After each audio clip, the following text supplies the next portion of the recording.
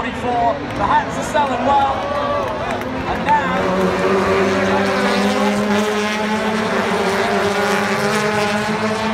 oh! Ramon takes the lead and Brooks is out. Coming together with. Fernandez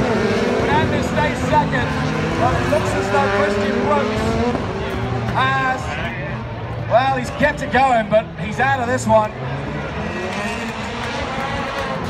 So, oh!